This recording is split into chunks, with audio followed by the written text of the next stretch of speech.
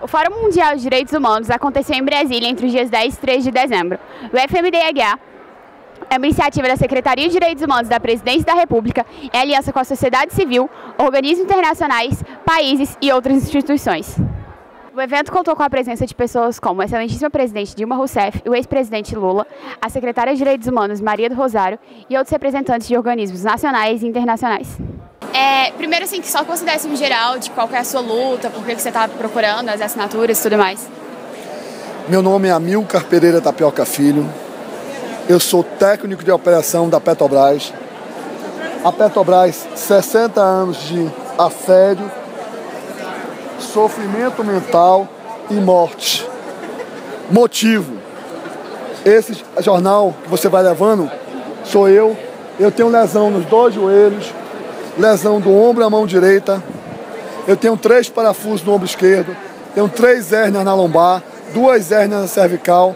Fui tirado da minha função de técnico sênior, último nível, e colocado para descarregar caminhão. Isso, as dores me levaram a infarto. Infartei três vezes.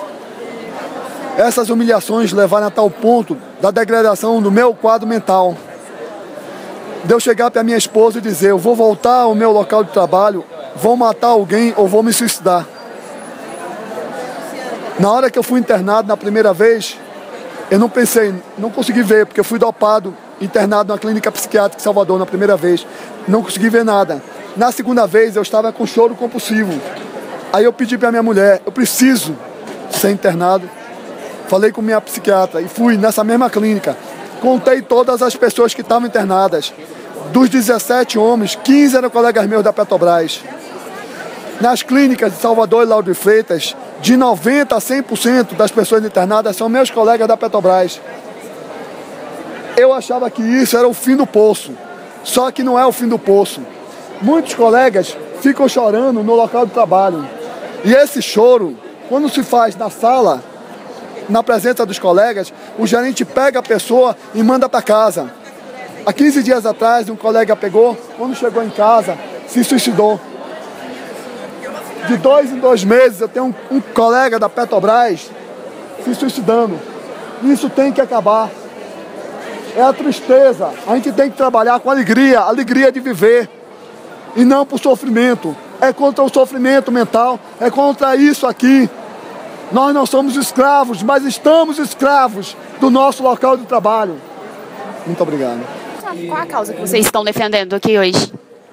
Quando a gente fala de direitos humanos, e vem discutir direitos humanos no Brasil é uma contradição, que assim, hoje o direito dos povos indígenas está sendo acabado pela bancada ruralista, pelo agronegócio. A PEC 215 tira todo o poder do executivo de demarcação de terra para passar para o Congresso Nacional. Automaticamente, se essa PEC for aprovada, nunca mais terá demarcação de terra no Brasil e a proposta deles, deles também é de rever todas as terras que já foi homologada e demarcada. E assim, o pensamento deles é que com PECs, portarias, PLs, eles acham que vai resolver a questão do conflito territorial. Mas não, estão acirrando mais todo o conflito territorial. E qual a importância desse evento no, na causa de vocês? O que aqui a gente está tentando de fato ver se os direitos dos indígenas sejam válidos. Porque assim, temos direito na Constituição de 88, temos direito na Convenção 169, temos direito na Declaração da ONU, mas que de fato o Brasil é um país que não cumpre todos, todos esses direitos que está garantido. Qual a instituição que você representa? Eu represento o Instituto Interamericano dos Direitos Humanos, eh, concretamente o Escritório Regional para a Sul-América, que eh, é uma instituição, um organismo internacional que foi criado pela Corte Interamericana dos Direitos Humanos faz mais de 30 anos, em 1980, para promover os direitos humanos nas Américas, eh, para educar em direitos humanos nas Américas. E qual a importância desse evento para a sua instituição? É, é muito grande. Primeiro porque acontece no Brasil, que é um país que nós estamos tratando de, de priorizar muito nas, nas, nossas estratégias de ação. E também porque é uma oportunidade incrível de, de, de conhecer pessoas, instituições que estão trabalhando no mesmo negócio que, que a gente em direitos humanos, né? E, e articular ações, articular redes de ação por direitos humanos, eh, também de promoção dos, dos, dos, direitos humanos.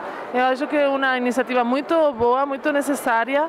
E o que eu espero é que eh, aconteçam, de, de, aqui se gerem, se gerem, gerem eh, boas redes e ações para os direitos humanos que impactem positivamente na vida das pessoas que mais estão precisando de proteção de seus direitos. E quais as expectativas do projeto em relação ao Brasil? De nosso projeto, nós estamos trabalhando muito em questão de educação, promoção, eh, capacitação em direitos humanos, sobretudo sobre o sistema interamericano. Eh, este ano vamos, estamos organizando já o que será o terceiro curso interdisciplinar brasileiro em direitos humanos. Trata-se do curso emblemático de nossa instituição, que nós organizamos faz mais de 30 anos lá em Costa Rica, onde fica a sede central de nossa instituição, a sede para a América do Sul fica em Montevideo. Esse curso está sendo replicado aqui no Brasil. Esta vai ser a terceira vez em Fortaleza. Vai acontecer em setembro. E a temática central vai ser igualdade e não discriminação.